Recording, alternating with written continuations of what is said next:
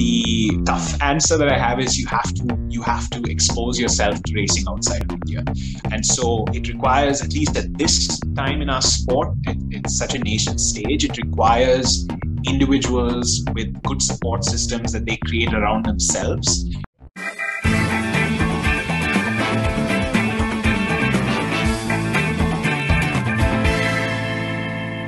Hi, Naveen. Welcome to the podcast. How are you doing? Hey, pretty good. Thanks for having me on, Ananya. It's a pleasure to have you. Uh, now, you were an engineer earlier. Now, from that to pro cycling, that does not happen often. How did that happen for you? Yeah. So, I mean, in a nutshell, um, uh, growing up as a child, I was never into sport. Uh, sport was something that I maybe at most watched on TV. You know, uh, growing up in the Middle East, going to school there. Uh, you know, watching, uh, I guess, were the cricketers in my time? Maybe Tendulkar, you know, at the wicket, probably in his last couple of years. That was my idea of sport, just, mm. just, uh, just watching it on telly. And um, when I went to college in the US, uh, started my engineering degree, super unhealthy lifestyle as far as nutrition and, you know, sport and movement were concerned. And and uh, but during the course of college i found i found the outdoors and found my found my people.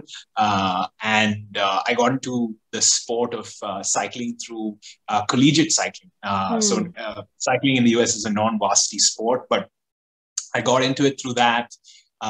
And it was more of a social thing for me. And and you know kind of slowly work my way up from rank amateur to kind of uh, representing my college at the national championships in the US and and you know president of my cycling club. So just kind of working my way up through that and and uh, and then towards the end of my engineering, there was this choice that I had to make. You know, is this something that I want to do for the rest of my life? And at this point, cycling had become a little.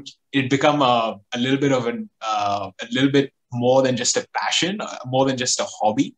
Um, and this idea of uh, going back home to India and trying to win my national championships kind of, you know, uh, came about. And and yeah, I, I pursued pursued it on a whim a little bit, but also with quite a bit of planning and and uh, you know getting trying to figure out where the sport was in India because I never actually spent any significant time in India before this. It's very inspiring for someone who not never lived in India um, and then sort of mastering the sport and finding out where to how to go about it in the nation.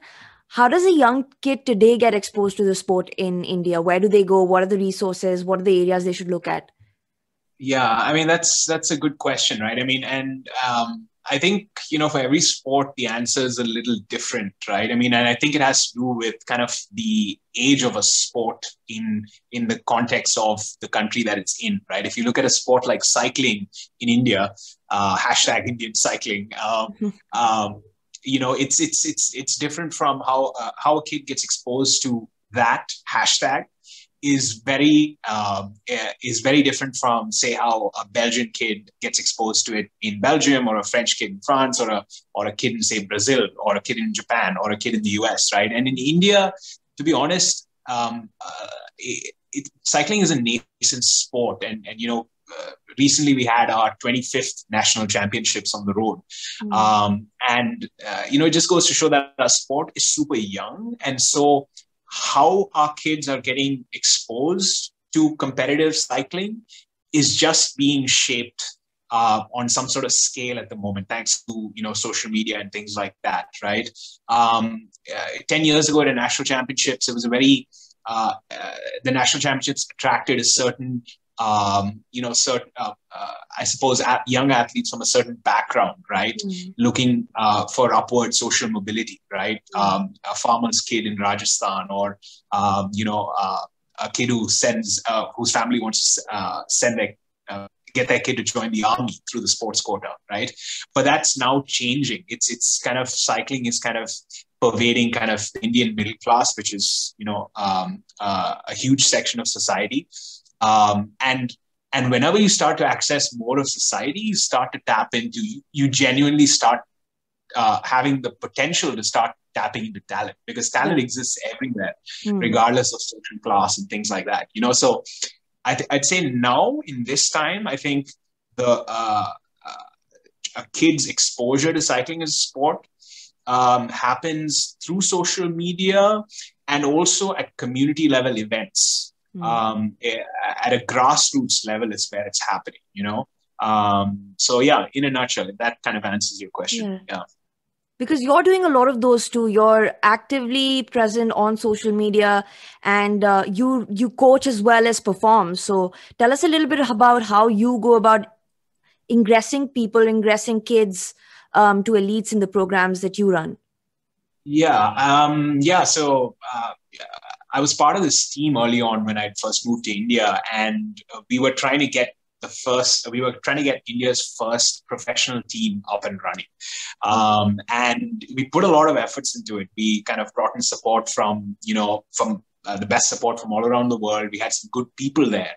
And uh, what what i really learned from that experience was you can do amazing stuff but if you don't talk about it um, especially in this day and age where there's just so much noise out mm-hmm. there and it's it's a competition for people's attention if you don't talk about it there's this danger of all of the work that you put in and the sweat equity that you put in not actually um, getting out there you know and in this day and age to not leverage social media to kind of talk about the work that you're doing is um, is a missed opportunity and so uh, I realized this um, kind of on a personal level and kind of as much as I, I, it doesn't come to a lot of people naturally, it comes some a uh, little bit a uh, little bit more, but uh, it's kind of this, this, effort has to be made as much as I focus on my performance and you know my training and stuff like that. I also make a conscious effort to talk about kind of what's happening in our sport and shed a light on not just uh, not just kind of what I do, but kind of the big picture of Indian cycling in general. You know,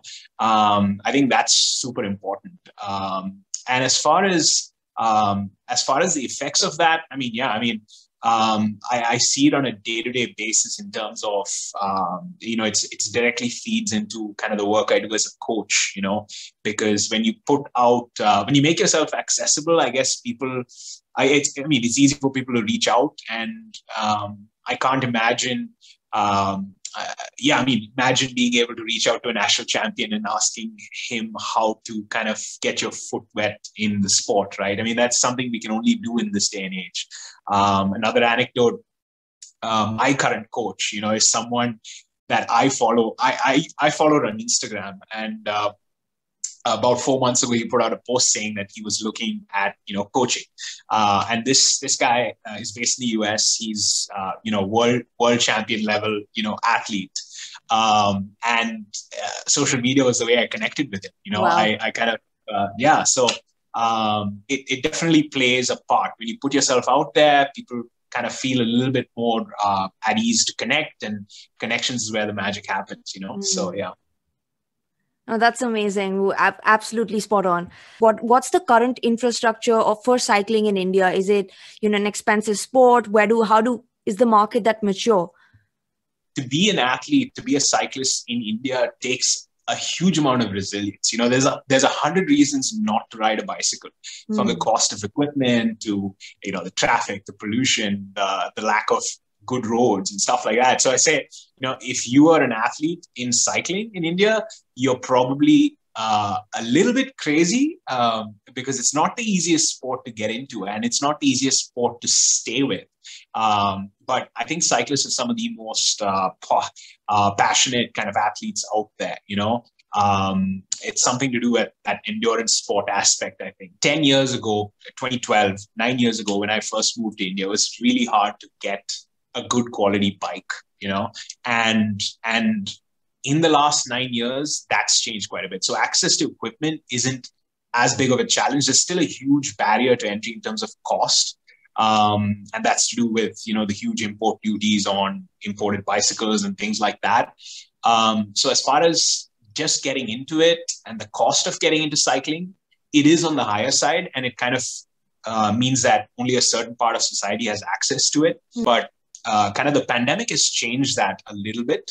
Um, I mean, um, you know, I mean, it's it's given a lot of people a lot of free time, um, and uh, a lot. I mean, and and people have taken to the roads in huge numbers. You know, in a city like Bangalore, which I consider probably the capital of cycling in India, mm. uh, hmm. just in terms of sheer number of people who are riding and riding at different levels, you know, whether it's racing or ultra endurance uh, or kids on bikes. Um, or women on bikes. It's it's definitely brought a lot more competition into the sector. There's a lot more cheaper options for bikes, and the the uh, kind of the local manufacturing has stepped up to fill up a lot of those gaps.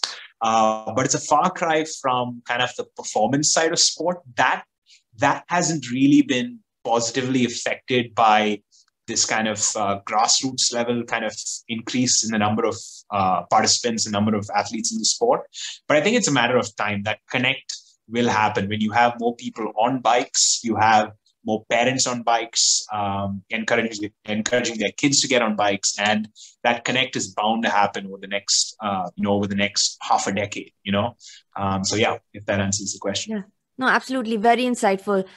Uh, now you did mention that because of the pandemic we've seen this trend that a lot of people have taken up taken on to cycling um, but do you think this trend is there to stay yeah that's a good question um, I do. I mean, uh, being uh, being someone who follows cycling pretty closely, who's worked in um, kind of the uh, the business side of cycling in terms of running shops and things like that, and also organizing community events.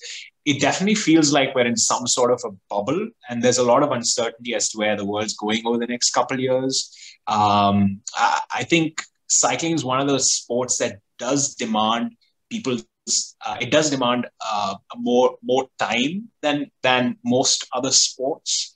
Um, uh, it's a pretty involved sport. You know, you you've got to kit up, you've got to head out to a place you can ride, and so it's not this. It's not an easy sport to get into, but at the same time, once uh, it's one it's one of those sports that uh, don't have a high level of churn. You don't lose a cyclist once they become one because it's such a it's such a yeah it's a it's it's a low churn sport you know? Mm. um, you don't get injured too much and it's it's addictive. Um, so as to whether um, this kind of upswell or uptick in cyclists is going to is going to kind of see a downturn as things open up and uh, uh, we we start to move towards a post pandemic world that's a hard question to answer but um, I think it, it's for the most part here to stay. Like I said, uh, once you become a cyclist, it's it's really hard to get out of it because it's just a it's a beautiful sport. Right. Now, there's a few things that come to my mind from a commercial standpoint. We'll get into that a little bit uh, later, but when we, when it comes to technology as one part of the commercials how do you think that is going to impact cycling i mean the two technology or the two apps that i can think of are strava and zwift which yeah. I saw everybody reposting to their Instagram handles. Yeah. Um, yeah. So that's those are the two that come to my mind. Does that play a role in sort of boosting cycling or gamifying the experience to encourage more people to come in? What's your take on that? Yeah, so I was part of that initial kind of, uh, you know, kind of initial kind of, uh, I guess, uh, what do you call it when a hashtag rises to the top? Oh, virality, being viral. Yeah, virality of it. yeah, uh, and that was like a month into the pandemic. I think apps like Zwift and Strava saw peak participation levels, you know, yeah. and this is globally, we're talking for Zwift around 25 or 30,000, which is, if you really look at it, it's not, it's not massive mm. in, in you know, when you compare it to some other sports, but at the same time, it really kind of showed what the potential of, of um, virtual cycling is.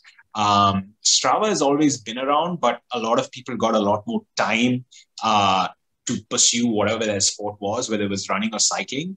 Um, in India, the uptake of technologies like Zwift has been hindered a little bit because of the lack of availability of equipment. Because the platform it requires again an investment. You know, it, mm. it, hmm. literally the cost of entry to Zwift is not just the $20 monthly membership.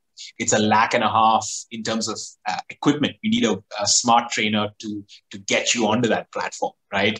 Uh, so it's like buying an Xbox, except mm. it's, it's your bike on a, on, a, on a platform, right? That allows you to play.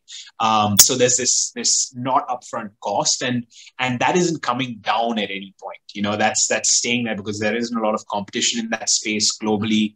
And so the mark, uh, the, the Zwift kind of you know the, the virtual cycling space, which has a couple of competitors uh, to Zwift, it's going to see a lot of growth outside India, but in India, just that again, that barrier to entry is that cost of equipment. Um, and yeah, during the pandemic, I I'm sponsored by one of those people who make trainers, and they were just out of stock and india doesn't keep huge stock of these things you know. Uh, there's about 20 for a country of you know oh, wow. for a yeah 20 or 30 is the order numbers whereas the cycling community in bangalore is about 5000 right? So there's definitely a huge gap there in terms of the supply and demand. So um, uh, yeah, the cost of entry is also a huge one. So, um, as to whether virtual cycling is going to take kind of root in India, um, it makes a lot of sense because large parts of India, you know, in the monsoons, it's hard to ride outside. Um, uh, pollution, traffic makes it really hard for people living in tier one cities to get outside and enjoy their sport. And and virtual cycling does offer the perfect solution, but it's that there is that there are those. It's almost a chasm. It's not a gap, you know, in terms of that availability and that price to get in. Mm. Um, so it's not something that's going to see exponential growth. It's something that uh, maybe over the course of you know again half a decade types might see growth but it's not something that um, for example uh, you know february to march in the uk saw uh, you know the uh, numbers go from 5000 to 15000 that's even not exponential but in india it's probably about you know uh, it was probably about 50 to about 200 you know so mm. much smaller numbers mm. um, and i think that's kind of what's going to continue there it's not going to be explosive growth but yeah, that's that's where kind of virtual cycling uh, lies as far as Indian cycling goes. Hmm. And then when you also talk about the other side of business coming to competitive cycling, and the events taking place, a lot of yeah. things are uncertain due to the pandemic. But where do you see that headed for India? Are we capable of hosting some grand events in the future?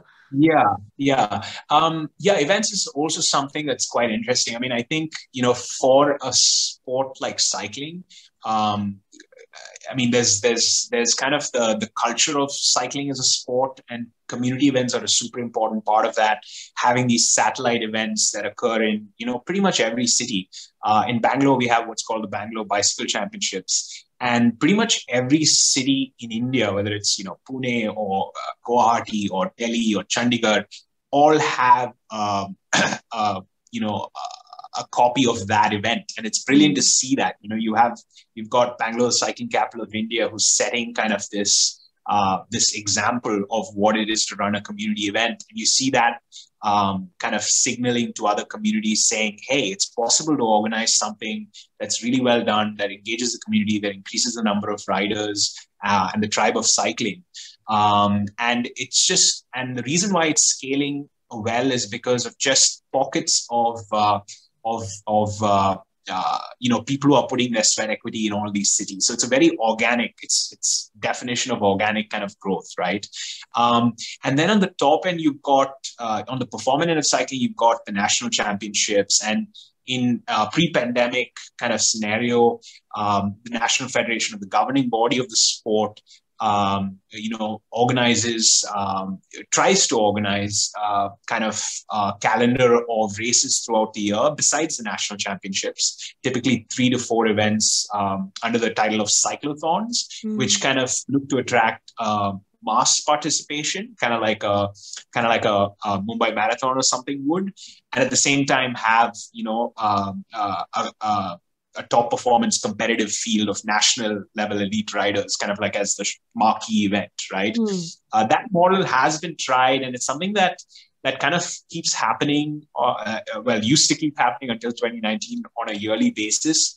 Um, but there's always been this disconnect between that community level, uh, you know, uh, organic stuff that's happening, and then at the top end, uh, there, there is a disconnect between those two, you know. Mm. Um, and I think in the future, that with the way things are going, I think there might be some there might be some room for both of these entities to kind of you know uh, uh, for lack of better term, synergistically kind of you know uh, kind of meet at a certain point. That's something that might take a little bit more time though. Right. Um, because it involves that um, you know federation structures being yeah. open to working with community grassroots level events, and so there is a disconnect there. Uh, mm-hmm. But it is bound to happen, but on a longer time scale, probably a decade. You know, uh, but there is a huge gap in there, which which um, which to be honest, I don't know how that gap uh, should be filled or whether it will be filled, but there exists a gap there for sure mm. as far as events go. In that case, what's your advice to aspiring cyclists to bridge that gap and, and build a trajectory for themselves? Yeah, I mean, so uh, to answer that question from kind of where I come from, which is kind of the uh, the performance performance end of the sport, um, uh, you know, ultimately uh, to perform at the biggest events in cycling, um, uh, the biggest events in cycling happen outside India, right? So uh, when I talk to young athletes who aspire to be the best in the country and perhaps the best in Asia, and then eventually perhaps uh, you know compete on the world stage the, uh, the, the, the the tough answer that I have is you have to you have to expose yourself to racing outside of India, um, and so it requires at least at this time in our sport, it, it's such a nation stage. It requires individuals with good support systems that they create around themselves, um, and uh, and a high level of uh, maturity, emotional, physical, all of that stuff um, to go outside India and expose themselves to racing there. You know, and that's that's what I try to do. That's what I do myself, and that's what I try to do with my mentorship program that um,